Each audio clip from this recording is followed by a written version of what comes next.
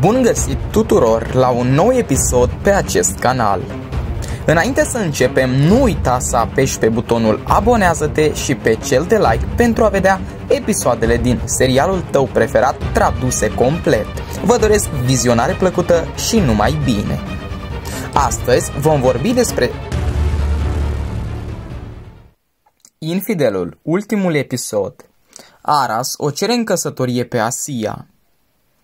Leila îi șantajează pe Ara și pe Asia cu fotografiile făcute la hotelul din Istanbul, dar Aras a fost cu un pas înaintea ei. El a observat că era ceva ciudat în legătură cu stricarea mașinii lui Asia și cu pierderea telefonului și a cerut lui Kadir să facă cercetări. Astfel, l-au prins pe tipul angajat de Derin ca să-i urmărească și să-i fotografieze și au șters toate copiile pe care Leila le are. Când acest plan al ei eșuează, Leila trebuie să accepte să meargă la Londra și să divorțeze. Aras vorbește cu Derin despre implicarea ei în planul lui Leila. Derin le spune lui Aras și Asiei că Leila a mințit-o că are nevoie de acele fotografii la divorț și îi roagă să nu îi spună lui Volcan. Asia îi spune apoi lui Aras că Leila pare la fel de periculoasă ca Derin și nu vrea să treacă prin aceleași lucruri din nou. Aras o asigură că așa ceva nu se va întâmpla. Derin i-a fotografiat pe Selkiuk și pe Seren ieșind din club în episodul anterior și posează fotografia pe rețelele de socializare. Nil se întristează când vede fotografia, crezând că s-au împăcat. Selkiuk o avertizează apoi pe Derin să nu se mai amestece în viața lui. Volcan realizează că este urmărit și îl prinde pe tip. Află că el lucrează pentru Derin, dar în același timp lucrează și pentru Gionul, fără să știe Derin. Ali este tot mai furios și agresiv din cauza prezenței lui Aras în viața Asiei, mai ales când află că divorțează. După ce vede un mesaj de la el în telefonul mamei sale și găsește prin lucrurile ei caietul care conținea amintirile lui Aras și fotografiile pe care i le-a făcut, Ali reacționează violent, rupe caietul și țipă la Asia, cerându-i socoteală.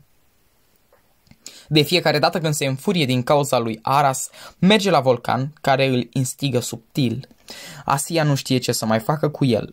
Când Volcan îi reproșează că prezența lui Aras în viața ei îi face rău, Asia îi amintește câte le-a făcut de Rin și îi spune cum a urmărit-o pentru a obține fotografii cu ea și Aras.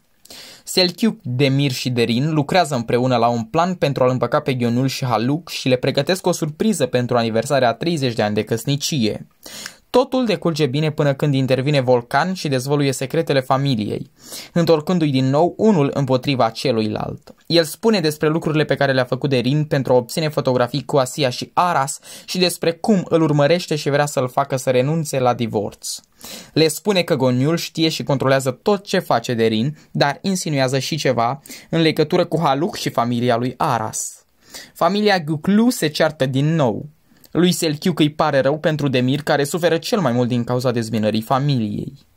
Ara se întoarce din Londra după ce se finalizează procesul de divorț și o invită pe Asia acasă la el. Petrec o seară frumoasă împreună, îi dăruiește o brățară, apoi în timp ce dansează o cere în căsătorie. Ali era cu Volcan la restaurantul lui Selchiuc și când se întorc acasă și văd că Asia nu este, merg după ea acasă la Aras. Când ajung, ei văd de pe fereastră că Aras o cere în căsătorie pe Asia.